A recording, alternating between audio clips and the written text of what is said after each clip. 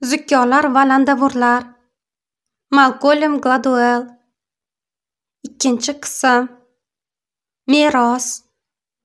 Oltinchi bob. Harlan, Kentukki. Erkakday o'l, akang kabi o'l. Appalachiyalarning uzun qatori o'rtasida Kentukki shtatining janubiy sharqida Harlan nomli mo'jaz bir shaharcha yastanib yotadi. Shaharcha Kamberland platosida joylashgan bo'lib, bu yerda tog' cho'qqilarini u yer bu yerda torgina vodiylarning qiyqimi kesib o'tadi. Bu vodiylardan ayrimlariga faqat kichikroq anhorcha va bir tomonlama yo'lgina joylasha oladi. Kamberland platosiga dastlabki yashovchilar kelganida tog' va vodiy bag'rlari odam o'tolmaydigan o'rmonlar bilan qoplangan edi. Ulkan lola daraxtlarining balandligi 50 metrga yetar, tanasining aylanmasi 2 metrcha kelardi. Ularning tevaragini salobatli oq qarag'aylar, qora qayinlar, zarang daraxtlari, yong'oq, to's qayinlar, tollar, ignabarg kedirlar, qarag'aylar va yovvoyi uzum palagi chirmashgan shox-shabbalar o'ragandi. O'rmonlarda ayiqlar, yovvoyi mushuklar va shaqildoq ilonlar yashar, daraxtlarning shoxlarida olmaxonlar sakrab yurar, tuproqning ustki qatlamida qavat-qavat toshko'mir yastangan edi.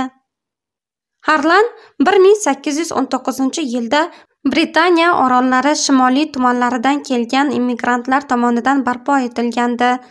Ular 18-asrda Virjiniyaga joylashganlar, keyinchalik yangi yerlarni izlab g'arbga, Appalachi tomonlarga yo'l olganlar.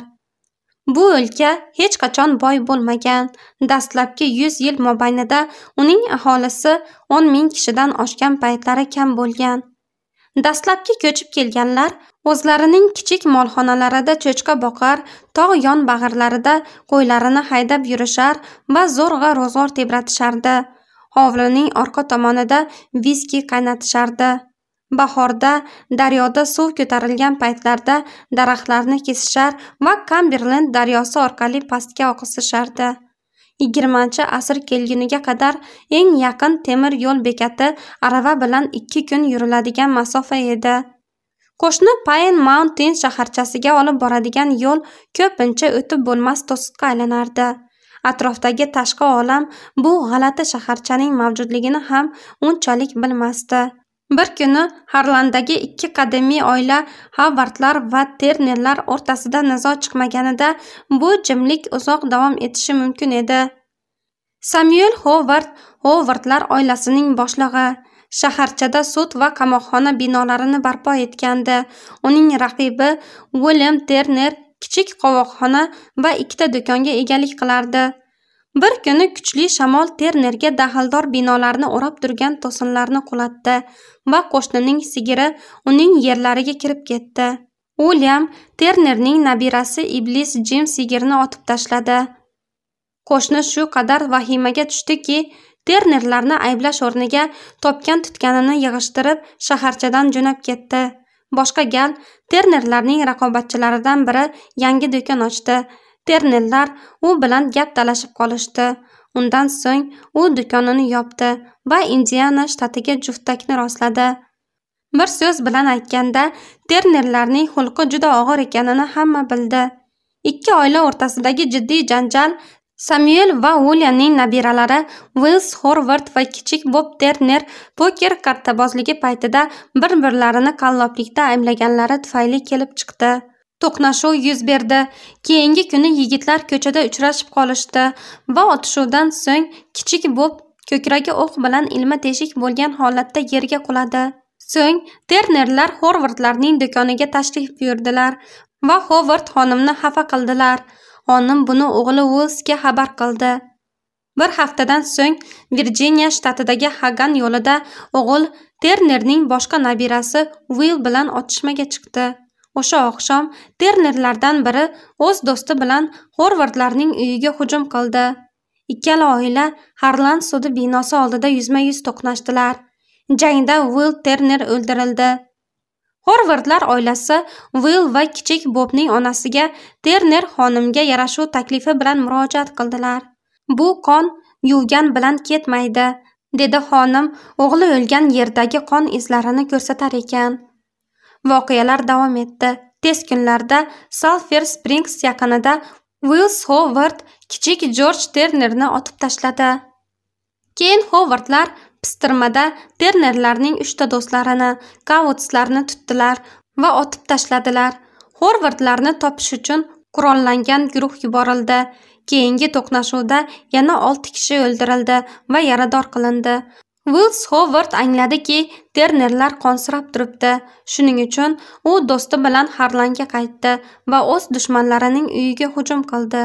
Ortga qaytishda ular pistirmaga duch keldilar va natijada yana bir odam halok bo'ldi. Wills Hovard kichik Jorj Ternerning uyiga keldi va o't ochdi hamda tasodifiy shu yerda o'tib borayotgan odamni otib qo'ydi. Qurollangan to'da Hovardlarning uyini o'rab oldi. Navbatdagi otishma, navbatdagi qurbonlar. O'lka uyasi buzilgan arilar to'dasi kabi g'uvillardi. O'ylaymanki, siz umumiy manzarani tasavvur qildingiz. O'zingni bos, qichqirdi Will Ternerning onasi. Yarador o'g'li sud binosi oldida yuz bergan otishuvdan keyin og'riqdan ingrab uyga kirganida erkakday o'l akang o'lgan kabi o'l. Ayol otishmalar odatdagi hol bo'lgan dunyoda yashar edi va tabiiyki yarador o'zini qanday tutishi kerakligi haqida o'z tasavvuriga ega edi. Vul ingrashni to'xtatdi va onasining oldida jimgina jon berdi deb yozadi jon pirs o'zining kentukkida yuz bergan nizolarga bag'ishlangan qora kunlar days of darkness kitobida.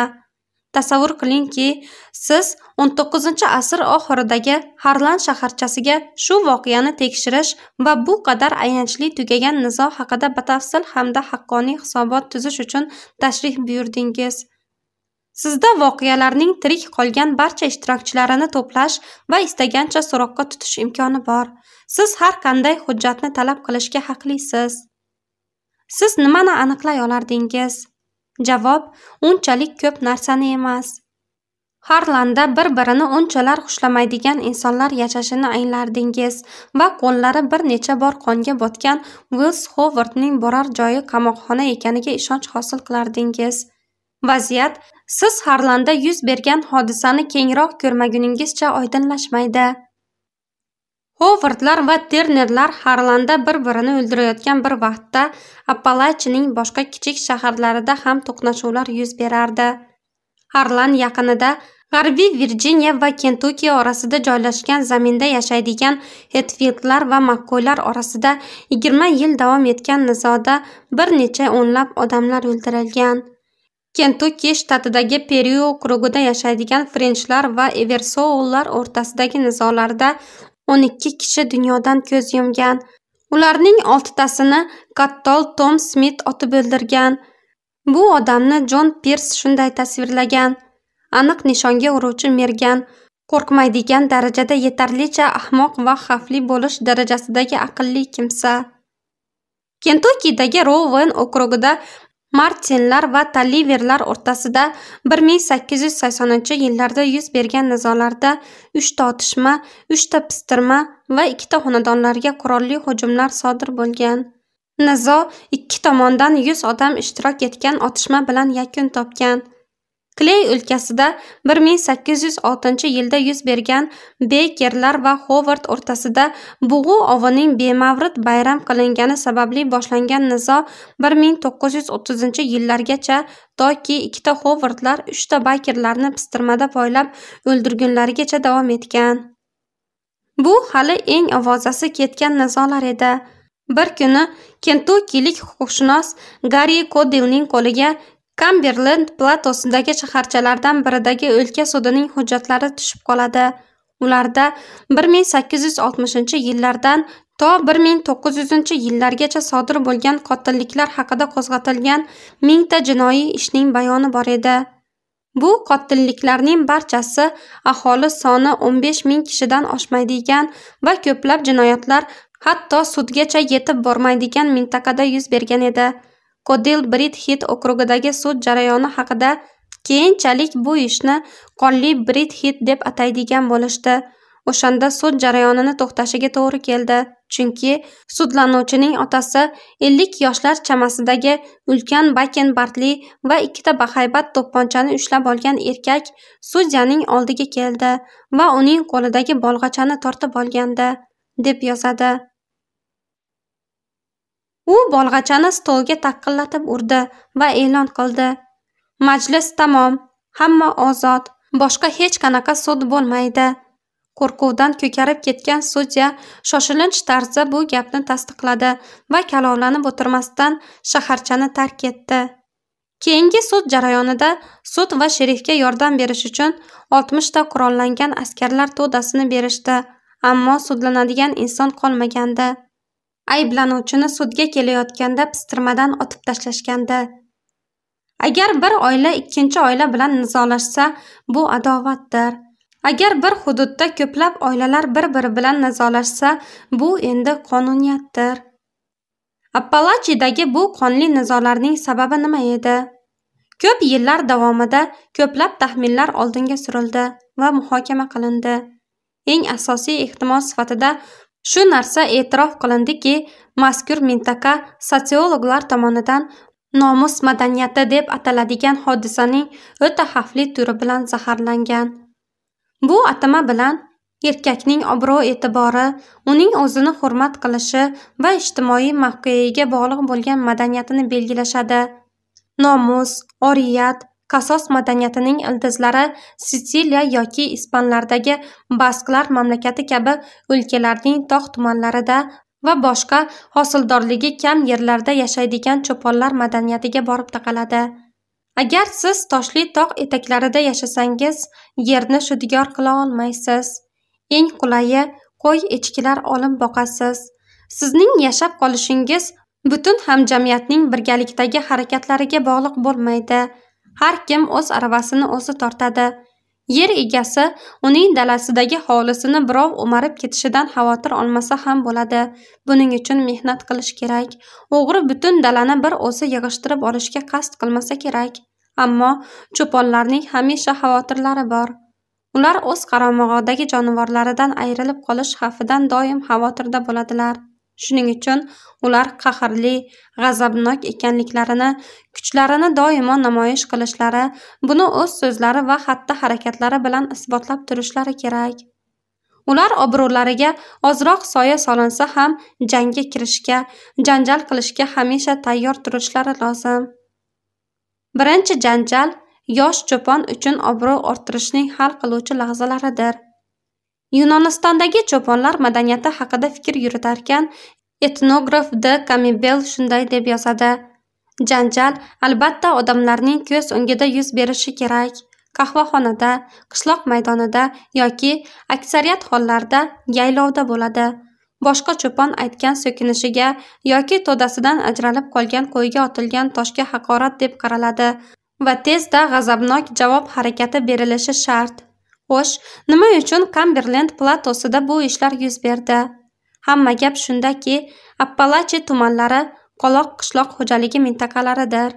Ular pensilvaniya chegarasidan virjiniya g'arbiy virjiniya kentukki tennessi shimoliy va janubiy karolina hamda alabama va jorjiniyaning shimoliy yassaliklari orqali janub va g'arbga tomon cho'zilgan bo'lib bu yerga kelgan immigrantlar asosan yovvoyilarcha nomus madaniyatiga ega bo'lganlar.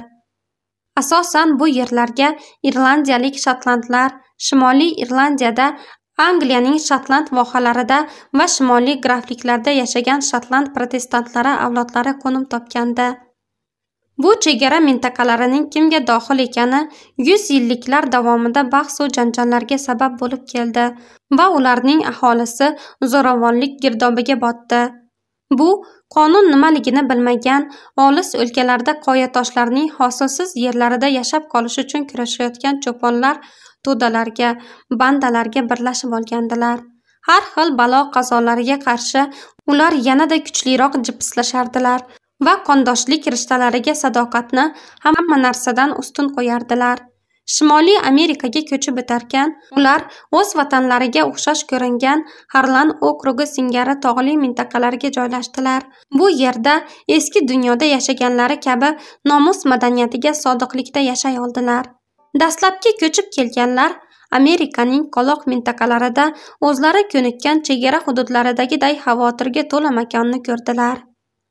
Albion javhari albion sid kitobida devid fisher shunday yozadi.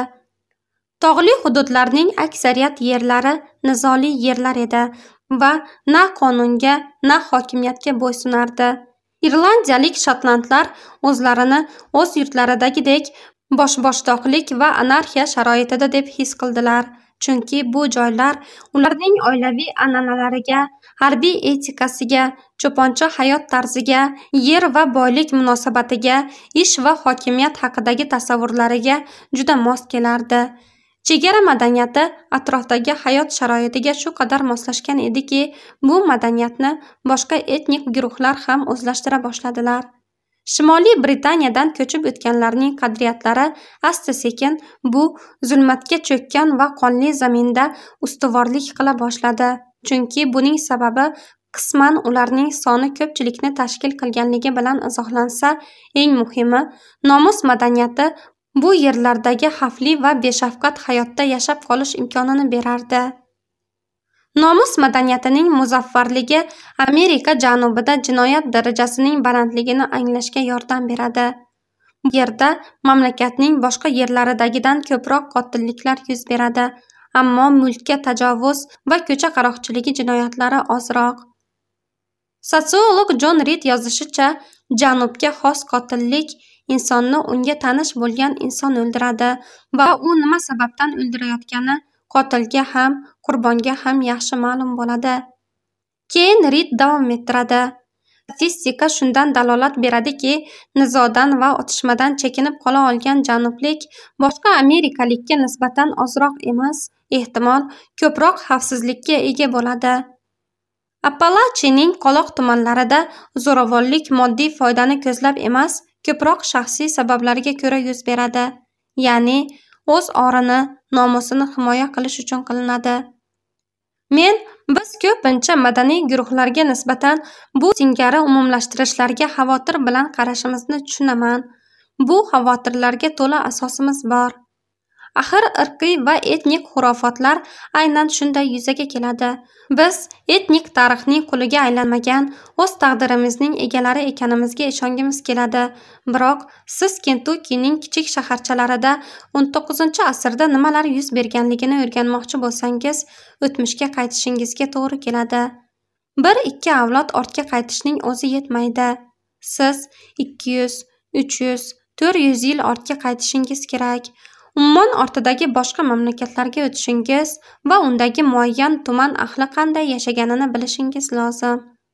Nomus madaniyati nazariyasida insonning kelib chiqishi katta ahamiyatga ega. Siz yoki sizning ota onangiz qayerda voyaga yetganligi emas bobolaringiz bobolaringizning bobolari va hatto ularning ham bobolari qayerda va qanday yashagani kontekstida qarash muhimdir. Bu harlan aholisi o'z o'tmishining quli ekanligini bildirmaydi. Yo'q ular erkin iroda egalaridir. Bu shuni anglatadiki ularning shaxsiyati madaniy merosining qudratli ta'sirida shakllangan. Agar ular o'zgarsalar ham tarixiy o'tmishlarini hisobga olishlari kerak bo'ladi. Bir ming to'qqiz yuz to'qsoninchi yillarning boshida michigan dorulfununining ikki psixologi dov koen va richard nisbet sotsiologiya fakultetining yerto'lasida tajriba o'tkazmoqchi bo'lishdi. Ular bir to'da yoshlarni to'plab ularni haqoratlay boshlaydi. O'n sakkiz yigirma yoshli yigitlarni qaysi haqoratli so'z ko'proq jumbushga keltirishini aniqlamoqchi edik tushuntiradi koen tezda ayon bo'ldiki ular uchun eng haqoratli so'z chichqoq so'zi ekan. Tajriba quyidagi tarzda amalga oshirildi. Sotsiologiya fakultetining yer osti qavatida uzun yo'lak bo'lib uning ikki tomoniga kartotekalar to'la shkaflar terilgan edi. Yosh yigitlar xonaga bitta bitta kirib so'rovnomani to'ldirar edilar. Keyin ulardan so'rovnomani yo'lak oxiriga olib borib topshirish va yana xonaga qaytish buyurilardi bir qaraganda bu ma'nosiz va jo'n ish edi. Yigitlarning birinchi yarmi nazorat guruhi uchun tajriba shu bilan tugadi. Ikkinchi guruhni pistirma kutardi. Ular yo'lakdan o'tayotganda ortlaridan bir erkak tajriba qiluvchilar uyushtirgan shaxs quvib o'tadi va shkaflardan biridagi g'aladonni ochadi. Natijada tor yo'lakda o'tishga joy qolmaydi. Yosh yigit g'aladon va devor orasidan sirg'alib o'tmoqchi bo'lganda erkak atayin jahl bilan g'aladonni yopadi. Yigitchani turtib yuboradi va sokin ovozda ammo aniq eshitiladigan qilib zarur so'zni aytadi. Chichqoq deydi. Koen va nisbet bu haqoratli so'z nimani anglatishini aniqlamoqchi va butun barcha usullar bilan yosh yigitlarda qo'zg'aladigan hislarni o'lchamoqchi bo'ldilar. Ular yigitlarning yuzlarini kuzatishadi va qanchalik jahllari chiqqanligini qayd qilishadi. Ular yigitlarning qo'llarini siqishadi va qanchalar qattiq siqilayotganlarini aniqlashadi.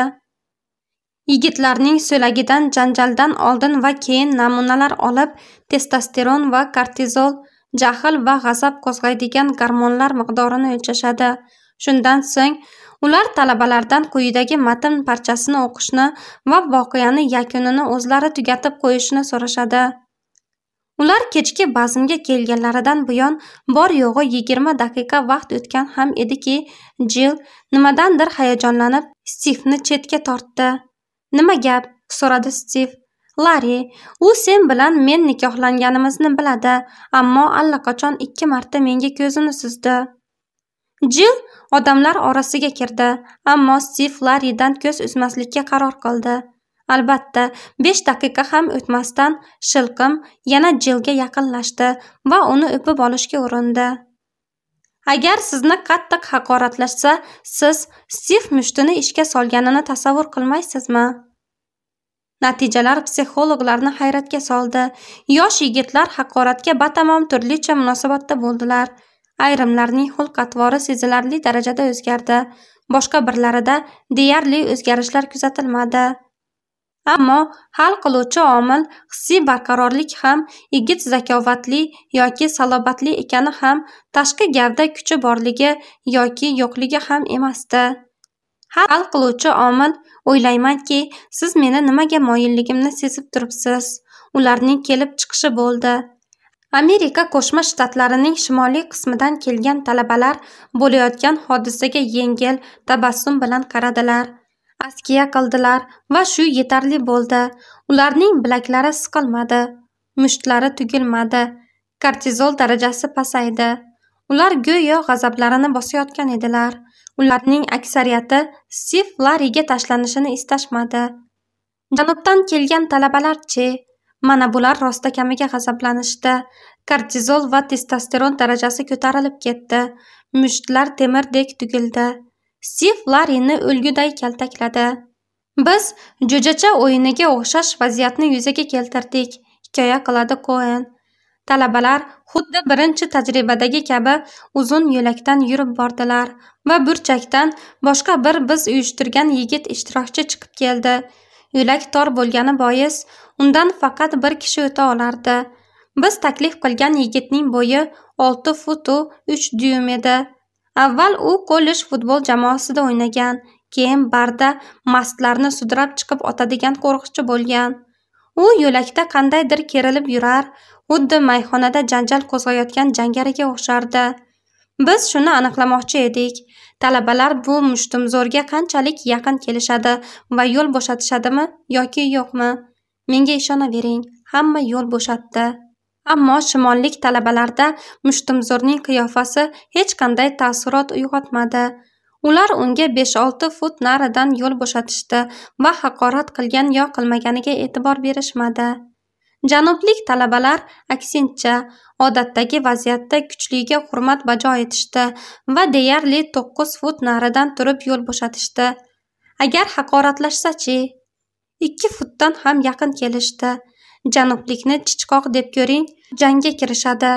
Tor bir yo'lakda koen va nisbet nomus madaniyatini harakatda kuzata oldilar.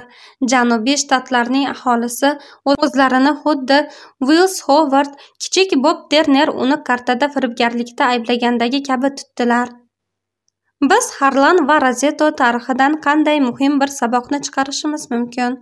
Bu xulosa o'z ajdodlariniki kabi vaziyatlarda yashaydigan odamlar guruhi ko'pincha xuddi ajdodlari kabi harakat qilishidagina emas. Chuqurroq qarash lozim. Janublik talabalar ularning britaniyalik ajdodlari kabi sharoitda yashamaydilar. Ehtimol ularning britaniyalik ajdodlari bo'lmasligi ham mumkin. Shunchaki ular janubda voyaga yetgan.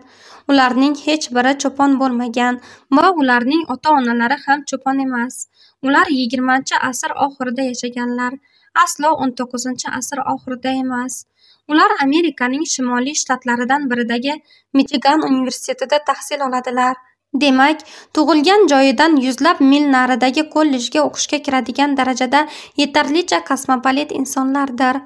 Ammo bularning barchasi ahamiyatga ega bo'lmadi. Biroq bu talabalar o'zlarini shunday tutadilarki go'yo ular o'n to'qqizinchi asr oxiridagi harlanda va kentukki shtatida yashayotganday edilar. Tajribada ishtirok etgan talabalar asosan yillik daromadi 100 ming dollar bo'lgan oilalarga tegishli edilar. Yana bu bir ming to'qqiz yuz to'qsoninchi yillarning dollari edi deydi koen ular appalachi tog'laridan tushib kelmaganlar. Coca cola kabi kompaniyalarning qaysidir atlantadagi bo'limi o'rta bo'g'in rahbarlarining farzandlari edi. Hamma gap shundadir. Nega ular o'zlarini shunday tutadilar? Oradan 100 yillar o'tsa-da, nega ular o'zlarini avvalgiday tutishda davom etmoqdalar? Nega atlantaning shahar chetidagi hududidagi bu yigitlar chegara hududlari aholisidagi xulq atvorni namoyish etmoqdalar? Madaniy meros qudratli omildir. Uning ildizlari chuqur va hayoti uzundir. U qon to'kilishiga olib keladi va kasalliklarning oldini oladi. U avloddan avlodga o'zgarmay o'tib keladi. Holbuki uni tug'dirgan iqtisodiy ijtimoiy va demografik omillar allaqachon yo'qlikka yuz tutgan. Madaniy meros inson xulq atvori shakllanishida va atrofni qabul qilishida shu qadar muhim o'ringa egaki biz atrofimizdagi dunyoni usiz tasavvur qila olmaymiz. Tarixchi devid fisher shunga e'tiborni qaratadiki bugun janub tumanlarida sayohat qilib yuradigan istagan odam hozir ham dastlabki immigrantlarniki kabi talaffuzni eshitishi mumkin. Ilk ko'chib kelganlar shunday gapiradilar. Veya qayerda?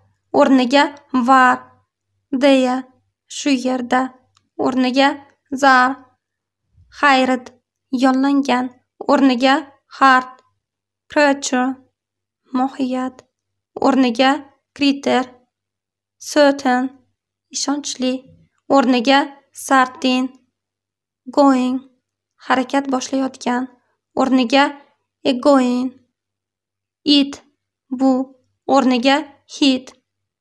Hit urmoq o'rniga hate fire olov o'rniga far div kar o'rniga div poison zahar o'rniga poison nikt yalang'och o'rniga nikit ich qashlamoq o'rniga ich bash buta. O'rniga bush bristol olishuv o'rniga braysel chief chaynamoq o'rniga chef pash itarmoq o'rniga push shat yopmoq o'rniga shit bet kursichqon o'rniga beit bi bo'lmoq o'rniga bit narrow tor o'rniga nirir window deraza oyna o'rniga winder widow beva o'rniga widder va yong yosh navnihol navqiron o'rniga yong ans. Tanyapsizmi sheva madaniy merosning bir qismi. Vaqt bosimi ostida asrab qolinadigan sheva. Yana qancha o'ziga xos jihatlar ajdodlardan xuddi shu tarzda meros bo'lib o'tadi? Agar bizning shu xulq atvorimizning jihatlaridan birlari bizning hayotiy muvaffaqiyatlarimizning asosida yotsa ne ajab? Biz allaqachon ko'rib o'tganimizdek muvaffaqiyatni biz yaratamiz. O'zimiz ishlab chiqqan qoidalar va bizga berilgan imkoniyatlar bunga asos bo'ladi. Kitobning ikkinchi qismi quyidagi savolga javob izlashga bag'ishlangan. Agar biz madaniy merosga jiddiy munosabatda bo'lsak odamlarga o'z ishlarida muvaffaqiyatliroq bo'lishga madad bera olamizmi? O'ylaymanki yordam bera olamiz.